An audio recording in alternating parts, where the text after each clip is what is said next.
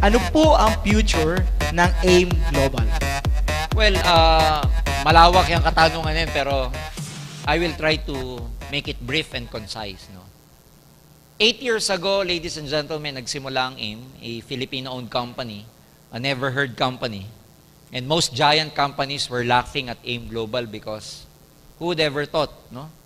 Uh, sino ba si Doc Ed? Sino ba yan? Sino ba sila Francis Miguel? Sino ba sila John Asperin? And as you know, every time na may nagbubukas na networking naman, hindi halos pinaniniwalaan because ang trending, ah, magsasara rin yan. Sasara din yan. Which is, hanggang ngayon, nangyayari sa mga nagbubukas sa networking.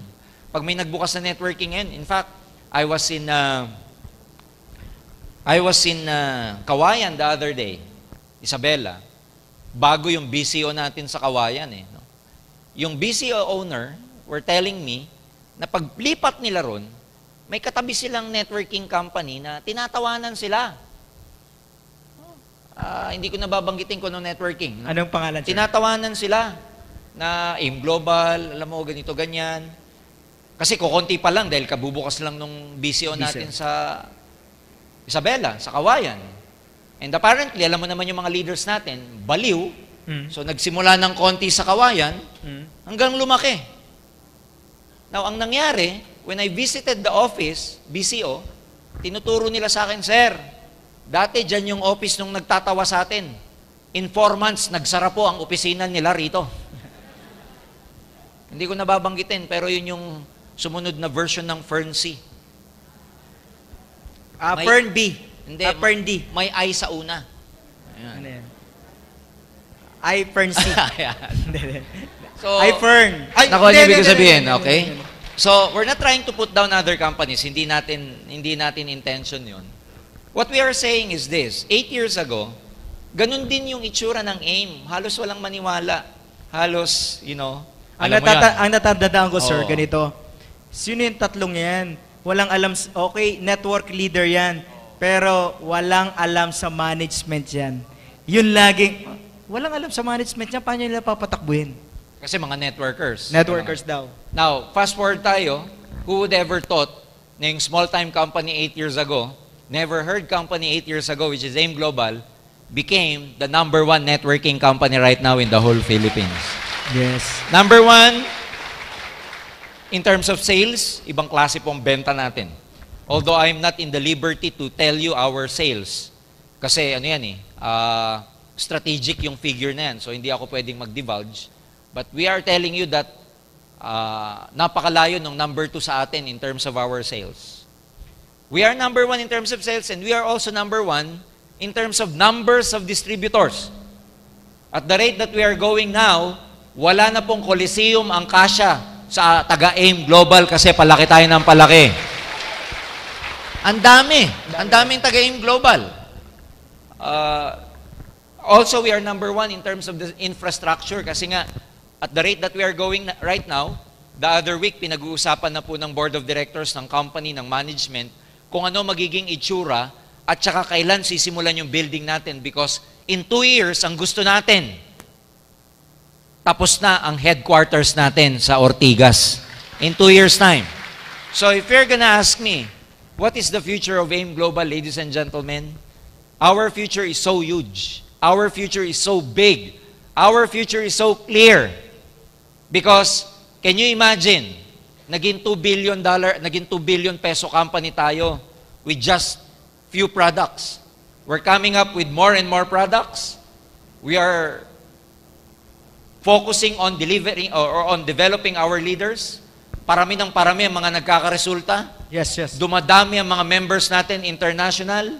Nagpagawa tayo ng sarili nating manufacturing facility para sa Liven, beverages, and the Vida natin. Sa Bulacan. Sooner or later, iba pang manufacturing facility ang ipagagawa natin. Wow. Parami ng parami ang mga infrastructure na piniprepare ng AIM Global na in our record and in our survey, tayo pa lang ang local networking company na magtatayo ng ganyang kalaking building at nagpapatayo ng sariling manufacturing facility. Wow.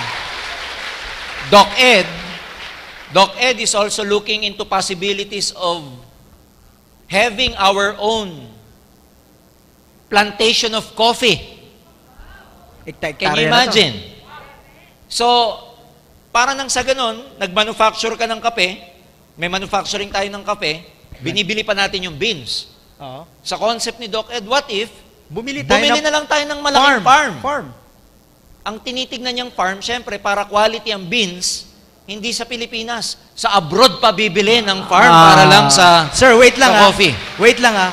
Kanina, actually, nung sinasabing bibili ng, yan, farm, ang iniisip ko, sir, Pilipinas, Pilipinas. Cavite. Oo. Pero nung sinabi yung bansa, Iba pa kasi, Iba pala. mara- iba-iba mga variety ng beans. yes, may Arabica, may... Yeah. So, and, and and can you imagine the concept of the company one day, I'm, I'm sure Doc Ed has already, already told you, ang expansion natin hindi lang sa marketing side, no? Hindi lang sa networking side. Ang expansion natin nasa production side, Production side. nasa infrastructure side. And I'm also open to uh, tell you right right now na may concept si Doc Ed no na magkaroon tayo ng Liven Cafe. Ano You- ba tong Liven Cafe na to, Roy? Para Starbucks? Magkakaroon tayo ng, di ba, Starbucks, mataas, high-end. Yes. UCC, Yeah, UCC. Shuttles Best. Below this is Boss Coffee Boss already. Coffee, tapos Coffee yeah, Bean. mga Ferrari, fe- ah, ah, iba-iba pa. Ang gusto natin maging affordable sa bawat Pilipino, magtatayo tayo ng Liven Cafe. Leven Cafe. Liven Cafe. Sir, And, nakikita uh, ko na, mapupuno to ng mga Yes. networker. And nakakatuwa kasi yung building na dinesign sa baba nun, imbis na iwa one-on-one mo yung prospect mo sa coffee bean, sa Starbucks, Tama. sa Liven Cafe na lang. Leven Cafe. Gagawin nating class na class yung itsura, meron din pastries, maganda ang packaging, Sir, pwede ba tapos mag-franchise social. yan? Teka lang, Hindi, pwede ba teka lang, ito maganda. Ang uunahin na magkakaroon, yung mga BCO owners ang uunahin na Wow! magkakaroon. Sino BCO dito ngayon? Kasi yung mga BCO, Ayan, ayun. meron na silang captured market kaagad. Oh. So, nandyan sa ganyang direksyon. Which is, we believe na tayo lang ang merong ganyang klaseng vision Concept. because of no less than our visionary president, Dr. Ed Cabantog. In fact, marami pa siyang iniisip na hindi ko pa pwedeng sabihin sa inyo. Yung mga nabanggit ko, nabanggit niya na kasi yan openly, kaya sinasabi ko na rin. Pero marami pa siyang bagay na sinasabi sa ah, loob ng management strategically na hindi pa namin pwedeng i-divulge kasi pagka dinivulge mo, alam nyo naman, ang challenging kasi pag number one ka, Roy, Yes, sir. wala kang tinitignan ahead of you. Yes. Pero pag number one ka, maraming tumitingin sa'yo at gusto kang kopyahin. Kaya ayaw naming ibuhos lahat. Kasi marami dyan, gaya-gaya. Ha? Ginagaya ang AIM Global. Kaya, if the question is, ano po ang future? Isa lang ibibilin ko. Huwag kang bibitiw dito. Yes. Huwag na huwag kang bibitiw dito. Pag bumitaw ka at dumaan yung bus mo, bus, sa EDSA, lilingunin mo na lang yung building namin. Sasabihin mo, member ako dyan dati. ha?